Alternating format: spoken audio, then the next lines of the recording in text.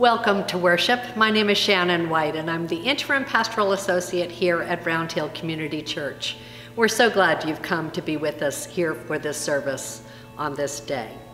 A couple of announcements before we begin our worship service together. First of all, following our service today, there will be an online and in person sermon conversation and fellowship time. If you're here in worship, you can just come into the parlor. We're wearing masks and if you're at home looking at this, there will be a Zoom link sent along with the, um, and, and apart from the worship link. And you can come on and join us at, on Zoom at 11 a.m. on Sunday. So please come and be with us. We'll have some reflections of sharing about the sermon and then some time for fellowship together. We had a great response last week, and we look forward to having you with us this week as well. On Thursdays, I'm going to be beginning a new ministry called Thursday Connections. It's on Instagram and it will be an Instagram Live. So if you have an Instagram account or if you want to get one, you just go on and, and follow Roundhill Media and you'll see that each Thursday at 9 a.m. I'm going to be doing a, about a 10 minute um, reflection and kind of spiritual exercise for anyone that wants to listen. You can tell your friends about it. And they will be saved. So if you miss the live, you can actually go back onto the Roundhill Media Instagram account and plug in later and listen to that. It's just a time to kind of on Thursday to settle in and center. And then finally, our book um, meeting on Wildlands by Evan Osnos will be on February 9th at noon here at the church in person and then at 5 p.m. on Zoom. So get started reading if you haven't started yet and be part of one of those conversations or both. Let us worship together.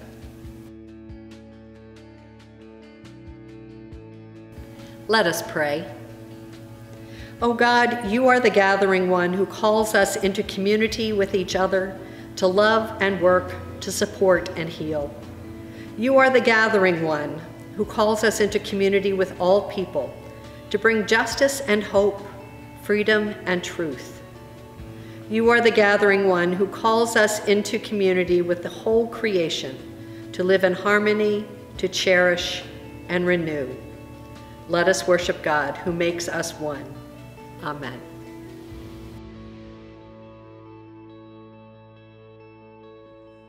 Hello, boys and girls. My name's Kareen, and I'm the mom of three beautiful children named Juliana, Lucian, and Alita. And I wanted to ask you a question. Has there ever been a time, whether it was in school or at home or even church, when somebody helped you one way or another? What did they do? Maybe it was that they let you borrow their school supplies because you left yours at home. Or maybe it was that they let you use their chair because there was no more left at the table. Or maybe they made you a beautiful card, kind of like this one, that my son Lucian made me to tell me how much he loved me. And it put a smile on your face because maybe that smile got lost some part of the early morning and you needed to find it again. When someone helped you out, it probably made you feel pretty good, didn't it? Knowing there were others out there that cared for you and were gonna support you and love you, just like God does, without asking for anything in return. Now, has there been a time you did something for somebody else, an act of love and kindness for somebody? I bet you did. So what were some of those acts of kindness you did for other people? Well, it reminds me about a book called The Giving Tree that my mom gave me when I was a little girl. And it talks about this tree and this boy and their relationship with each other and how the tree would always be there for the boy, no matter what the boy needed. The boy would come to the tree to get apples and leaves and to stay in its shade. And the tree just loved the boy. And that's why the tree always gave to the boy. Made the tree happy to give to that boy. And it kind of reminds me of um, something Mr. Rogers used to say. Uh, Mr. Rogers is somebody that I just loved watching on TV. And he reminds us that God gave us a gift, that deep within us, no matter who we are, there lives a feeling of wanting to be lovable, of wanting to be the kind of person others like to be with. And the greatest thing we can do is let people know that they are loved and capable of loving. So, it doesn't matter your age, you can always do acts of kindness. And I think I can see you guys doing one pretty soon, maybe today. Anyways, I think we should pray. Dear God, please give us the strength to open our hearts to help all people and animals when they are in need, and to let those acts of love remind us of you and what you and your Son Jesus have done for us. Make us full with happiness while we pursue acts of love unto others. Help us come to you with a teachable spirit, eager to be changed as we know you have plans to give us hope and a future. Amen. Have a great day.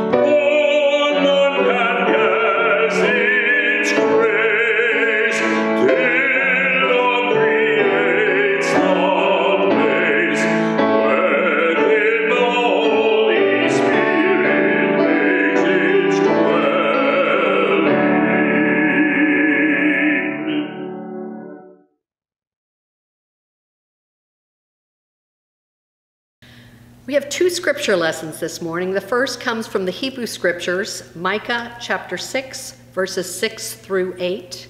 The second is the Gospel of Matthew, chapter 5, verses 1 through 10. Listen now for God's word. With what shall I come before the Lord and bow myself before God on high? Shall I come before him with burnt offerings, with calves a year old? Will the Lord be pleased with thousands of rams, with tens of thousands of rivers of oil? Shall I give my firstborn for my transgression, the fruit of my body for the sin of my soul? He has told you, O mortal, what is good. And what does the Lord require of you? But to do justice, and to love kindness, and to walk humbly with your God. And our gospel lesson is a very well known and familiar text of the Beatitudes. Listen now with a new and, and ask for a new understanding. When Jesus saw the crowds, he went up to the mountain, and after he sat down, his disciples came to him. And then he began to speak and taught them, saying, Blessed are the poor in spirit, for theirs is the kingdom of heaven. Blessed are those who mourn, for they will be comforted. Blessed are the meek, for they will inherit the earth. Blessed are those who hunger and thirst for righteousness, for they will be filled. Blessed are the merciful, for they will receive mercy. Blessed are the pure in heart, for they will see God. Blessed are the peacemakers, for they will be called children of God. Blessed are those who are persecuted for righteousness' sake, for theirs is the kingdom of heaven. The word of the Lord. Thanks be to God.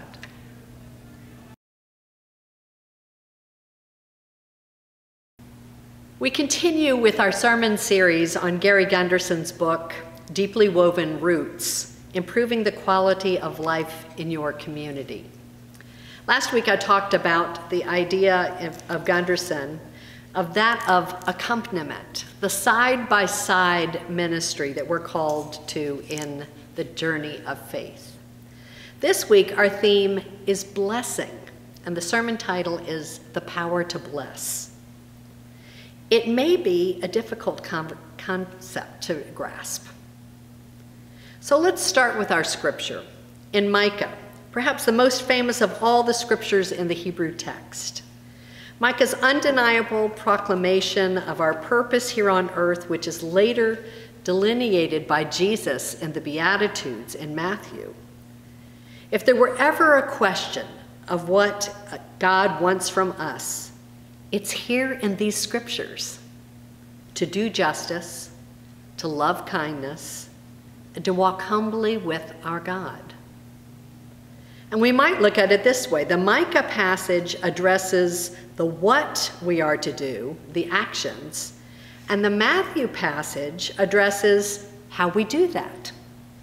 So we accomplish the actions of doing justice, loving kindness, and walking humbly with God by being humble and compassionate, striving for righteousness, and having mercy, having a pure heart, and being a maker of peace. The result of doing and being these things is that we are a blessing to others. Being a blessing to others. What a concept totally otherworldly in secular culture, and certainly not expected or rewarded for the most part in our broader society in which we live, which tells us to grab everything we can, to reject those who don't sound like, look like, or think like you and me. Gunderson says, This is how blessing comes to us, if it comes at all from one human to another in the name of all that lasts, in song, prayer, silence, word, touch, presence. Here's how one man put that into practice. Michael Tenney was, by all intents purposes, a successful businessman, self described type A profit driven business leader. His priorities in his thriving business profit, customers, and employees. Sounds right, correct? His success was evident. That is until January 2001 when he got caught for trying to defraud the government. He was sent to prison for five years. But he says in his TED Talk in December of 2019 that two years into his sentence, he had an experience which completely changed his life. Although he doesn't say it specifically, I imagine it was some sort of spiritual overhaul. He became a monk for some time and now has emerged as a social entrepreneur who is out on the circuit teaching a new way of doing business devoting his life to love better and to help others do the same. He believes that making love a priority in business is beneficial as well as profitable. Based on his research, he outlines in his TED Talk how standard business priorities of profit, customers, and employee actually guarantees a company's premature death. But great leaders and profitable companies put loving their employees at the top, doing whatever they can to improve the long term well being of their team members to grow and thrive. Then come the customers and the goals of the organization. And profit, he says, comes naturally as employees know they're cared for. And he cites even Herb Kelleher from Southwest Airlines as an example of that. That's fascinating to me. Tenney's realization of being a spiritual blessing, my words, to others by loving and putting people first, even above profits. But Gunderson says blessing also comes in community. He says, We do not have the power to bless ourselves when we need it most, just on the edge of slipping, sliding away. The power to bless exists between people when they gather at the intersection of human and holy. Only a community can say, Bless you, bless us, yes, yes. So, what might it look like as a church to align its mission with the idea of being a blessing to others? I think Round Hill does a pretty good job of that.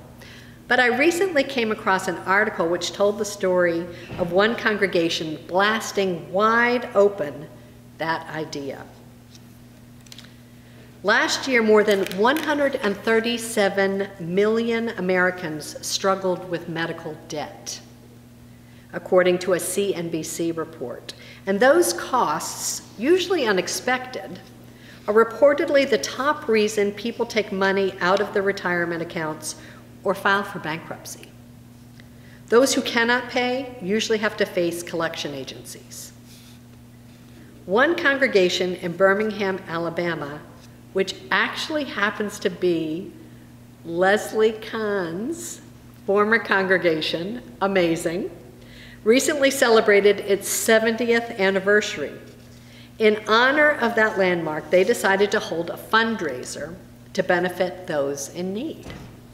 For its fundraiser, St. Luke's Episcopal Church, Leslie's old church, partnered with Rest in Peace Medical Debt, a nonprofit organization founded by two former debt collection executives that works with donors to purchase and forgive medical debt from the neediest cases according to its website, by purchasing debt on pennies on the dollar.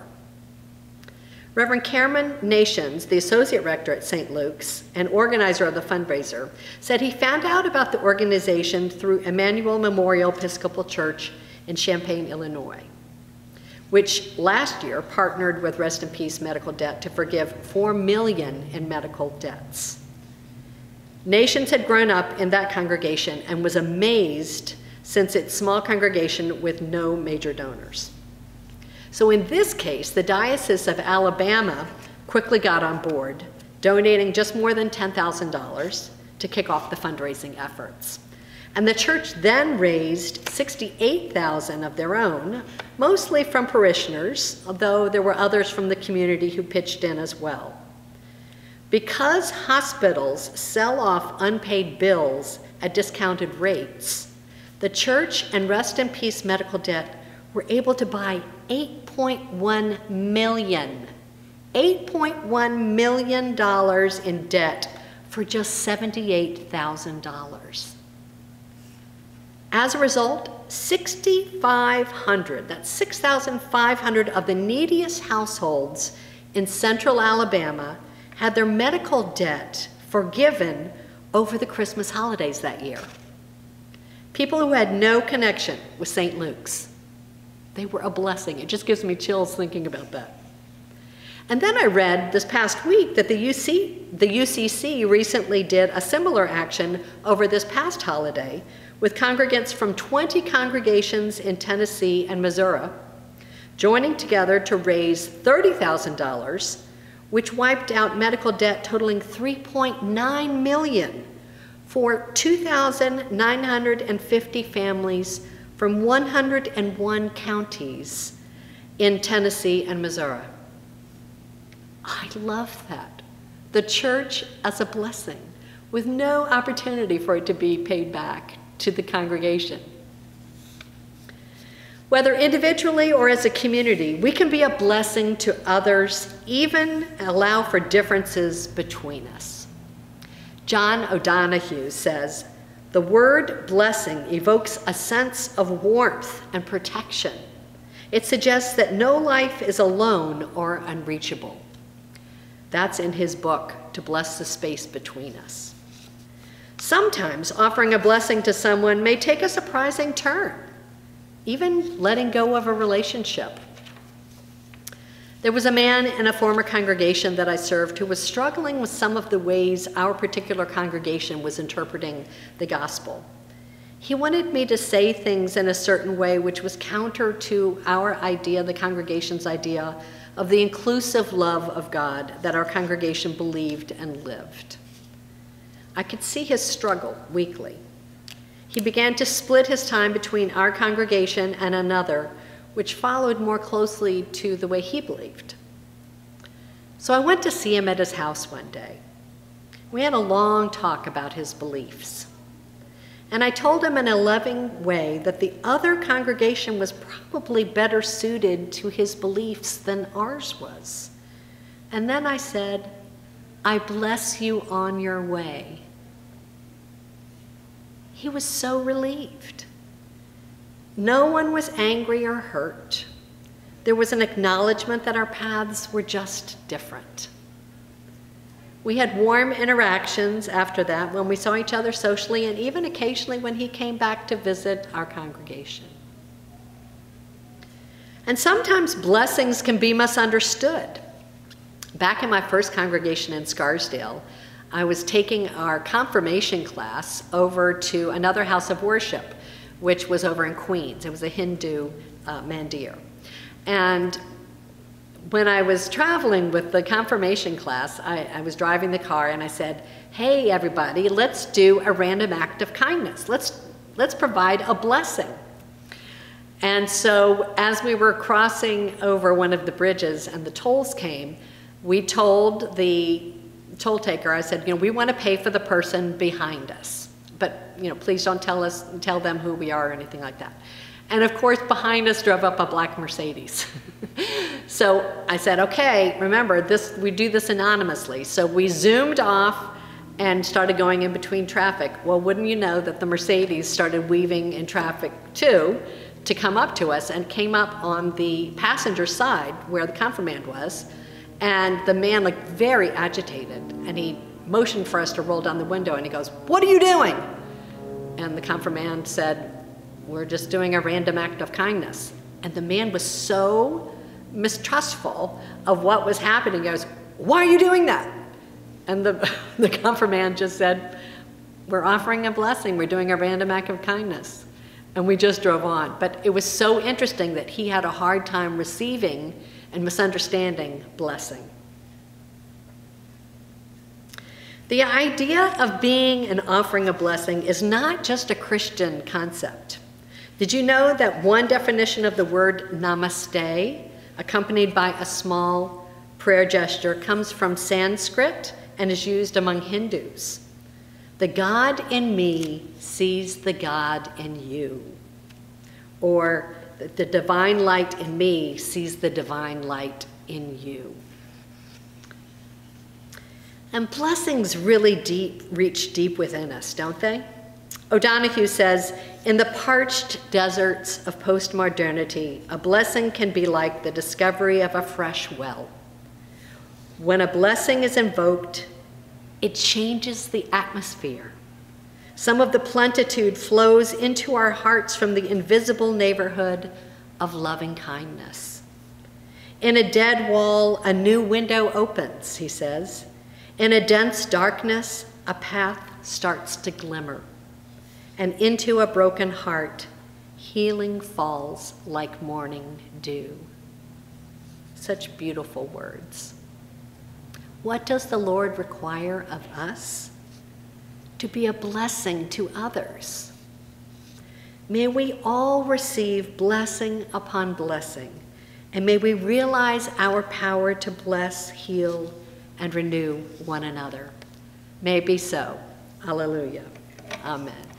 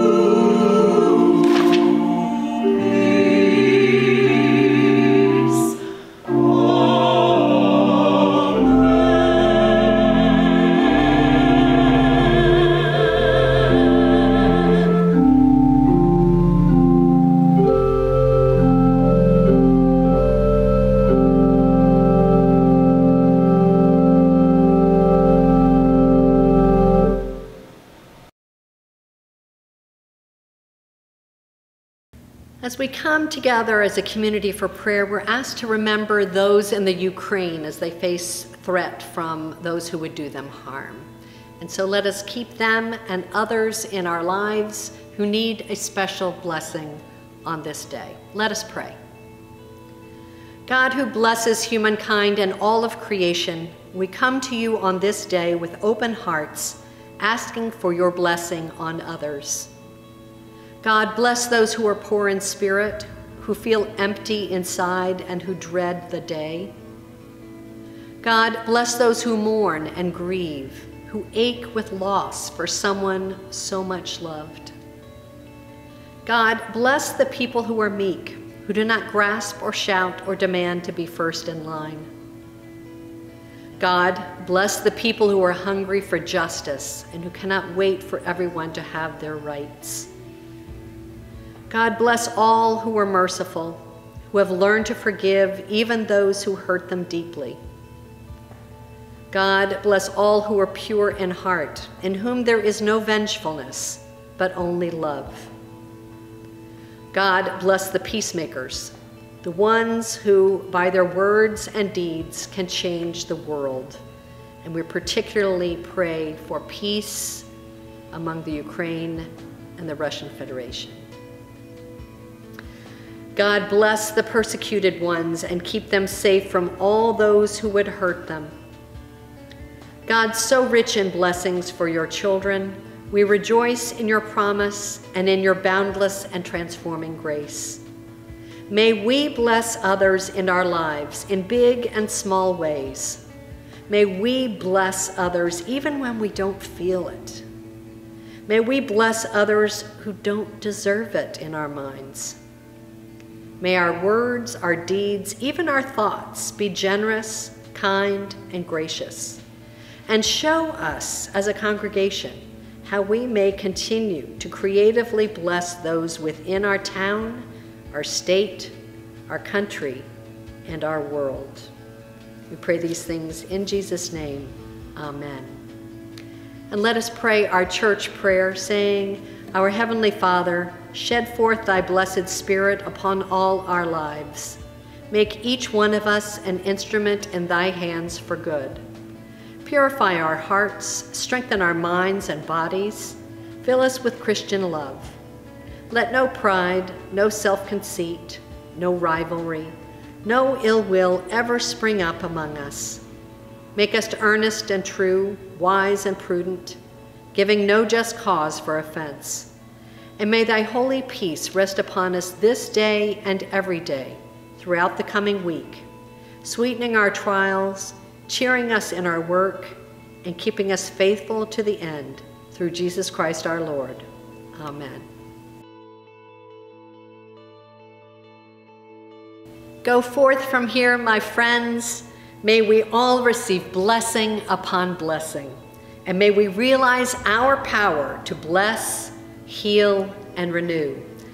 And may the grace and peace of God, Creator, Redeemer, and Sustainer be with each and every one of us now and forevermore. Amen.